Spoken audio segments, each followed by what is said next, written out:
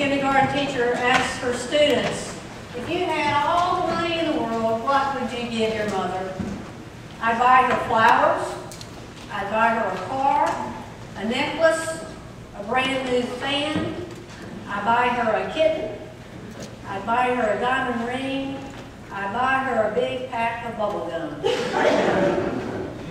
Dear friends, we have all the resources in the world that God has given us in an unlimited way. So having all that, what are we going to give to the mothers, the fathers, the parents of our faith who have nurtured us? What are we going to give to the children that will follow us? Will we give them more than a map, more than directions? Will we show them the way?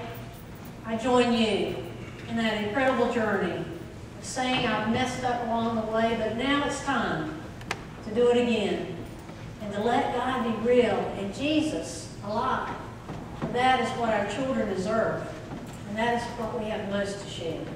Grace of the Lord Jesus Christ, the love of God, and the communion of the Holy Spirit go with you into God's world, being God's children where you go. Amen.